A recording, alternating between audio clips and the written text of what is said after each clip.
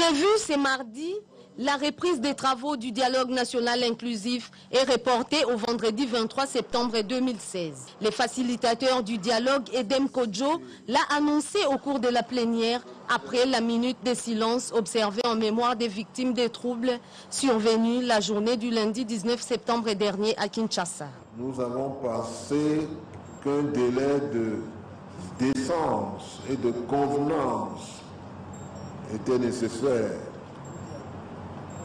et que notre dialogue sera reporté dans 48 heures. C'est-à-dire que vendredi à 10 heures, nous reprenons cette séance.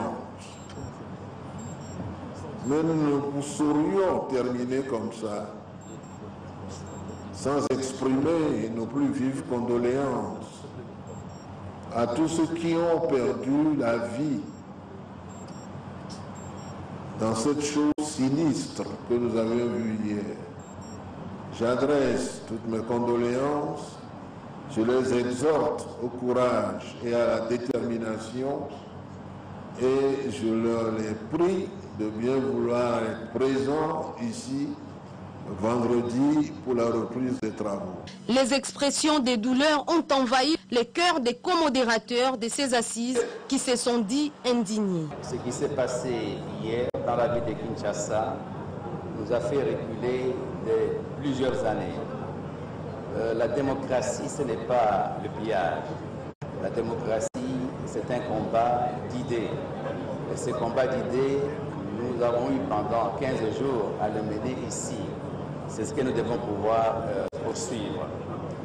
Nous espérons, et nous avions dit depuis le départ, que ceux des Congolais qui n'étaient pas ici pouvaient à tout moment euh, rejoindre le dialogue et faire valoir euh, leur point de vue.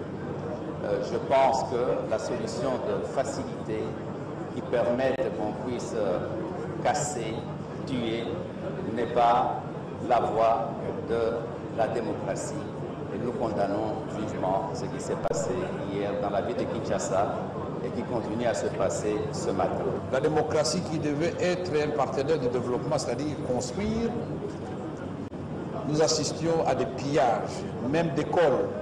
Qu'est-ce que nos enfants ont fait pour subir euh, ces sorts?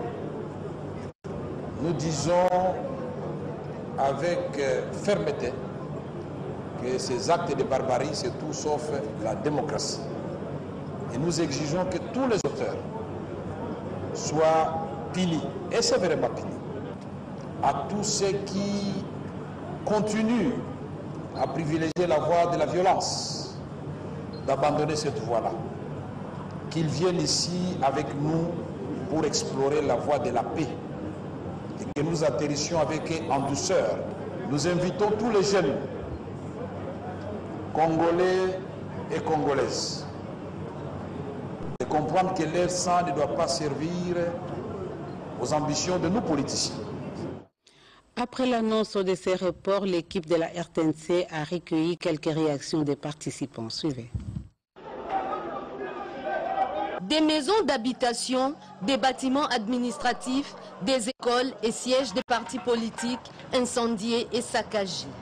Des scènes de pillage organisées dans plusieurs coins de la capitale par les inciviques. Ces actes sont condamnés par les participants au dialogue national inclusif. Je crois que c'est tout à fait euh, très sage de la part du bureau du dialogue de pouvoir euh, respecter un délai de décence, comme il l'a dit. Il y a eu mort d'homme, il y en a eu euh, il y a eu des destructions qui ont concerné aussi bien les participants à ce dialogue que des non-participants, donc des Congolais qui ont souffert dans leur chair. Il est normal que nous prenions un temps aussi pour euh, parachever euh, le retour à la normale. C'était tout à fait normal qu'en mémoire des vies humaines qui sont tombées à la suite de la barbarie de certaines personnes instrumentalisées, que ces travaux soient suspendus et que de la manière plus euh, raisonnable, nous puissions les reprendre vendredi. Je profite de cette occasion pour euh, présenter mes sincères condoléances à toutes les familles éprouvées et appeler les uns et les autres à la raison. Je pense que la violence ne produit rien Nous avons toujours vécu dans euh, la paix et c'est toujours le dialogue qui a résolu nos différents problèmes. Nous appelons encore les fils et les filles de ces pays à revenir au bon sens autour de la table pour que nous puissions trouver des solutions aux problèmes de la République démocratique du Congo dans la paix. Vous savez qu'il y a eu des morts, ce sont des Congolais qui ont perdu leur vie. Nous ne pouvons pas rester insensés par rapport à cela.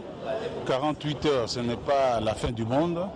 Nous pensons qu'il faut faire bien les choses et les faire correctement.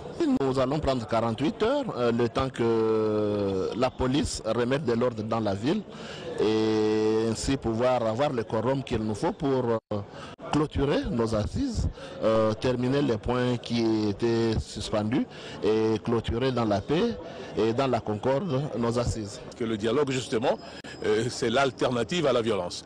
C'est pour ça que nous sommes ici. Alors, ceux qui ont pris la responsabilité de la violence euh, vont subir nécessairement les conséquences. En disant ça, ce n'est pas une menace, mais nous ne pouvons pas accepter que dans un état de droit, il puisse y avoir de tels incidents.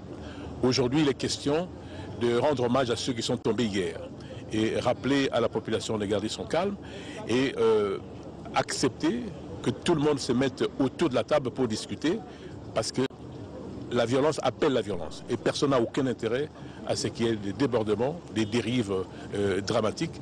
Par conséquent, nous réitérons notre appel au calme et à régler les problèmes qui nous opposent par le dialogue et non pas par la violence. Pourquoi nous engageons sur une voie périlleuse alors que nous avons une voie royale où les idées s'entrechoquent et nous trouvons une solution consensuelle entre Congolais Dans moins coûteuse. La mort n'a pas de couleur politique. Et les auteurs de tous ces actes doivent être sévèrement punis, sanctionnés. C'est ça un état de droit. Les Congolais doivent se désolidariser de tous ceux qui veulent euh, que le sang coule dans notre pays. Il y a des gens qui, par des réseaux sociaux, téléguident, commandent la mort, mais ne viennent pas eux-mêmes participer à toutes ces manifestations. Je voudrais donc euh, inviter tous les amis qui pensent qu'ils ont des solutions plus rationnelles que celles que nous proposons, qui viennent nous la présenter ici, puisque nous avons demandé, obtenu de la CENI, que tous les experts à travers le monde, à travers le pays, tous ceux qui nous disent nous pouvons faire les élections dans les délais, qu'ils viennent.